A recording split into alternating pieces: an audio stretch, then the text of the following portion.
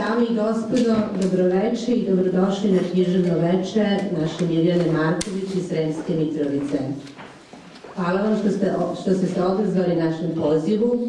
Ovde sa nama su večeras i članovi udruženja iz udruženja Bara Jega, gospodin predsjednik Bogdan Nikolić, pa pozdravimo ga ovako ove lično.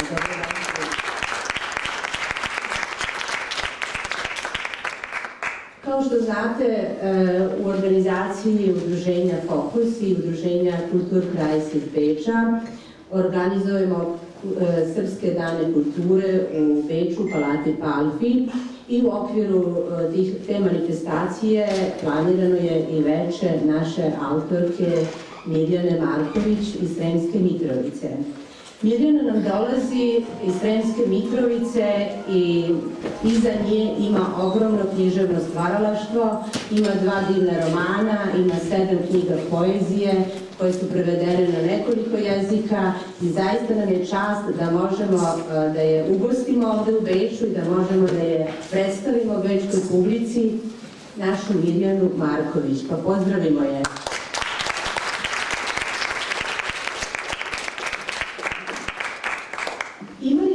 Dovoljno dana u životu čoveka da može tokom nekog dana da ne misli? Ima li dovoljno dana u životu čoveka da može tokom više dana da ne radi? Ima li zapravo toliko dovoljno dana u životu običnog čoveka da može tokom dana ništa da ne piše? Odgovor leži u izreci staroj rimskoj umotvorini nula disinea linea, nijedan dan bez pisanja. Kažu, ništa u životu nije slučajno. Nije slučajno Beč i Sremska Mitrovica, nekadašnja carska prestonica Sirmijum, kao i ovo veče. Ima put kojim se mora proći, ima priča koja se mora čuti. Nije lako ostatku sveta reći ono što ti je na duši, a ona je to sa neverovatnom lakoćom učinila. A mi smo večeras tu da nas njena poezija i proza dotakne i probudi naše emocije.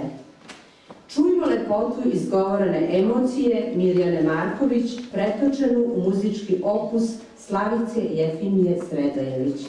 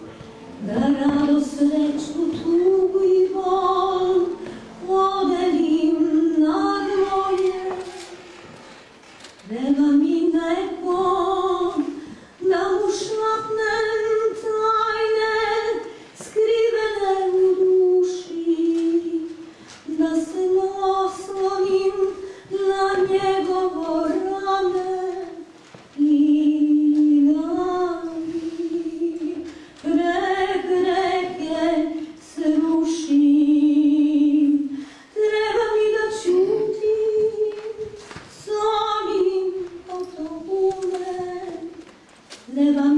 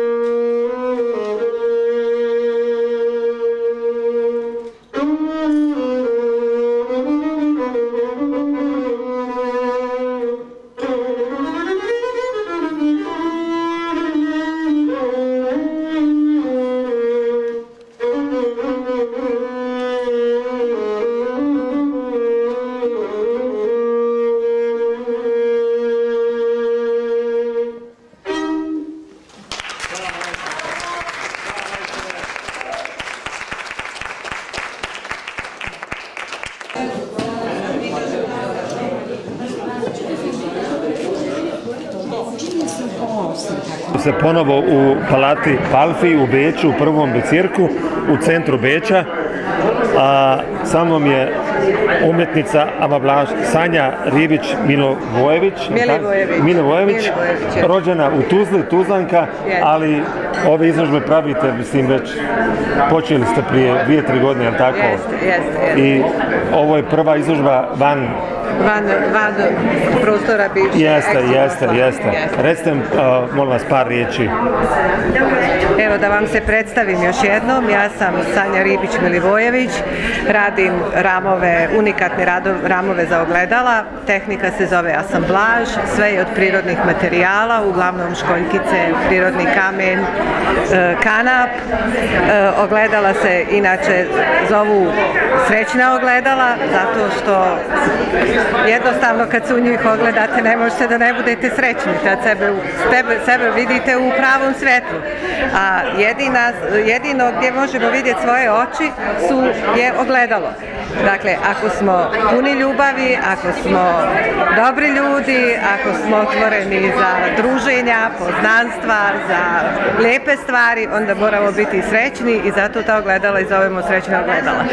Još jednom da vas pozovemo, u toku cijele nedelje smo ovdje, ulaz je slobodan, možete doći, pogledati, uživati, ogledati se i biti srećni, a ujedno i kupiti neko ogledalo. Hvala vam još jednom, sve vas voli Sanja.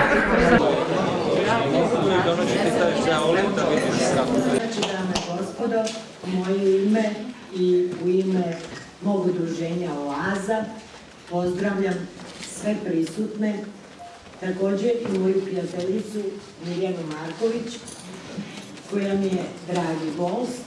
Samo par reći da kažem, barijeru između Beča, Nemačke i raznih drugih stranih zemalja. E, mi smo uspjeli uz pomoć Mirjaninu da ostvarimo mnoge promocije u Srbiji.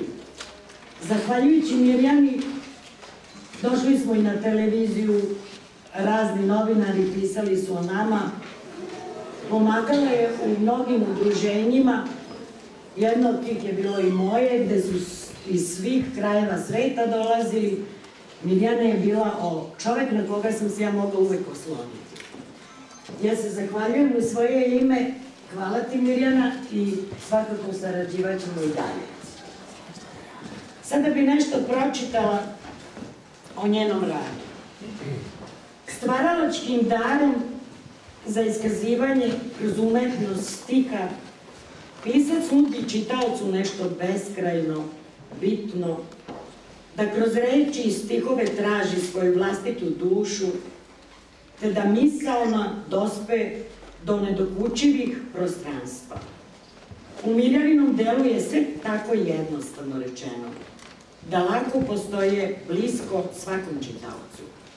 Mirjanino delo je nadahnuto poema o ljubavi i strasti. Svoj pesnički opus pesnikinja je započela knjigom Otkrivanje duše. I kao da mi reči otimaju, a tvoje oči najbolje poznaju.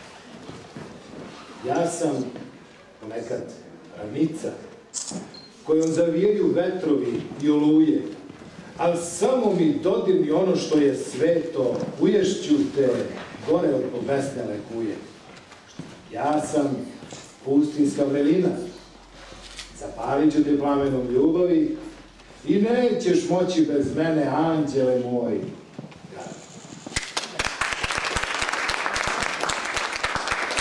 Kao i Mirjana nije sebična i traži da i drugi pokažu svoja dela. Naša draga Zorica ima prelepih pesama i sada će vam pročitati jednu od njih.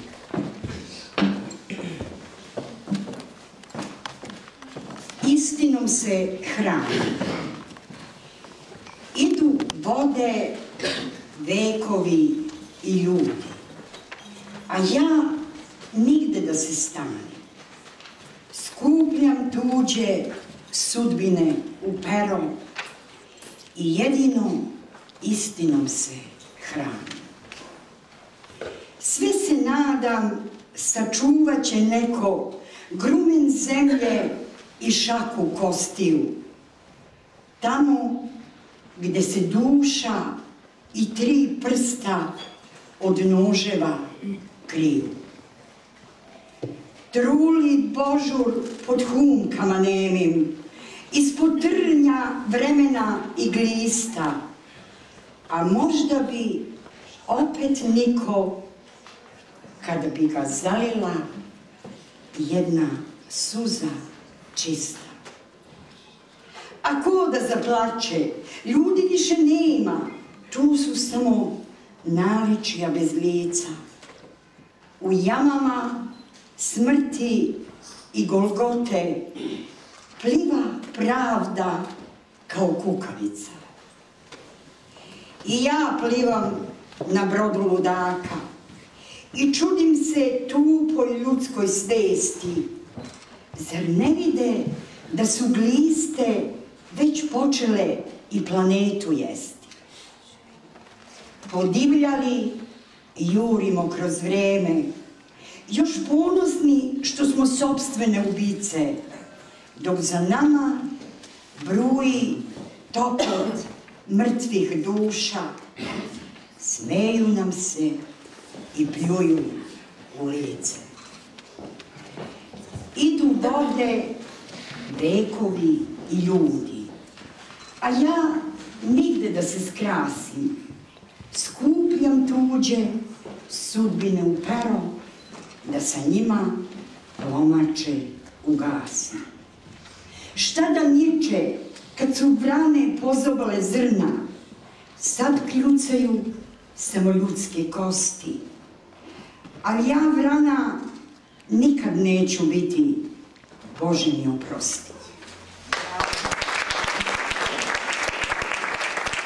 Muzika lagana, opija taj zvuk je najlepša poezija. Čujte Slavicu Jefimiju Sredojević, koja će vam izvesti pesmu komponovanu na Mirjanom stihovima.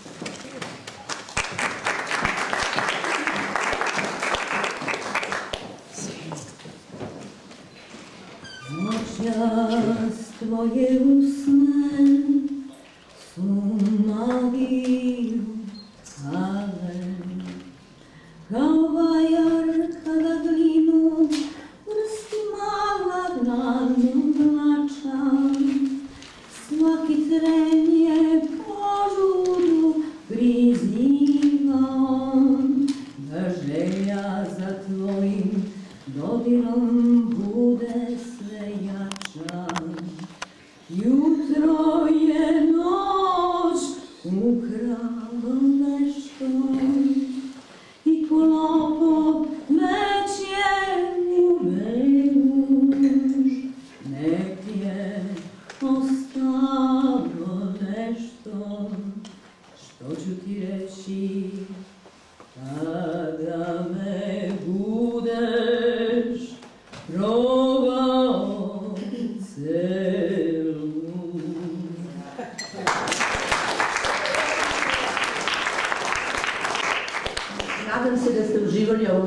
Muzičko izvođenje naše Slavice Jefimije Sredojević. A sada, dame i gospodo, sada će vam Mirjana Marković reći gde vetrovi zastaju na tren, gde reka krije bosonoge korake, gde snovi slute požudu i kako se ispijaju strasti. Reći će nam istinu koja laž guši i sve što je na duši. Mirjana Marković.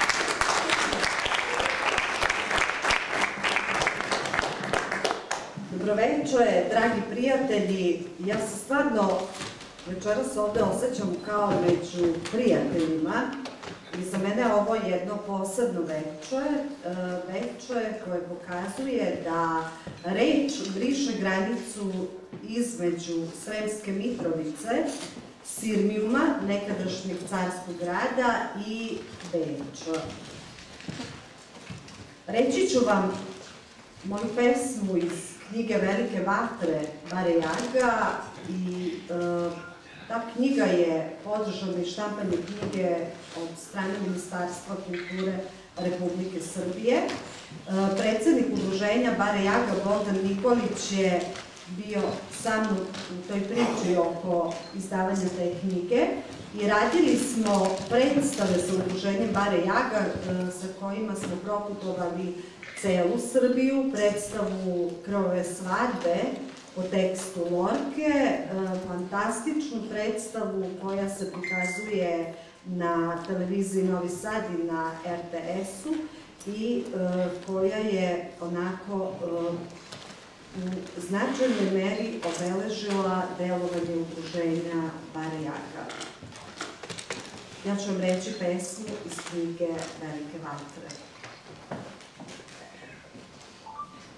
Cane mugre pundre pungranđe, Petrč hele najkodosa, očić helela pameca, Mukroć helavipe sijad, ande sajkam padu sasto, Kanađi labav dželem dželem, Čijavela tuče lačke, Ora ciro cancirolande tute, oči kakam avo. Cane kaleja henca di hatu, Đosa manca preko livađin mesem romići. Pre nego što Moša Šišić odsvira himnu Roma, Đelem, Đelem, samo da vam kažem da ovu pesmu govorim u performansu Beračice Save Šumanovića. Čuveni slikar Sava Šumanović, koji je, nažalost, svoj život skončao u Sremskoj Mitrovici na našem spomen groblju 43. godine, naslikao je sliku Beračice, boje se nisu ni osušile, njega su pogubili na spomen groblju. Aleksandar Ilić, prvak e, baleta Narodnog pozorišta u Beogradu, je uradio performans Beračice i ja u tom performansu. A sada možeš ići.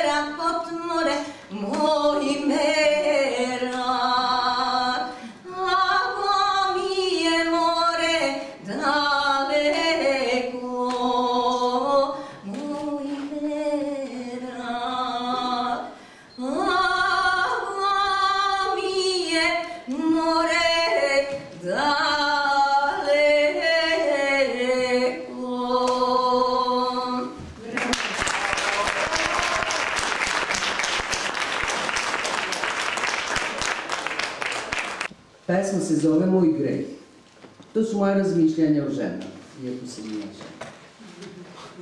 Ti si moja prva prevara. Strast je u meni gorela. Noću sam ti pesme pisala, a sa njim ljubav vodila, uz njega disala. Njemu krevet spremala, rukama po telu šarala, vatreno mu se davala. U misli vas u jednom spajala. U iste pesme ubrajala, u isto vreme u bojicu varala. Tebi dušu i osjećanja, njemu svoje milovanje. Kako god bilo, to sa tobom se samo snima. Volim njega više od svega. Žena je čudo, voli da se zabavlja u Njena mašta u svašta. Igra se vatrom dok se ne opeče. Prevara u glavi ili na javi. Svodi se na isto. Sa ženama nikada niste na čisto.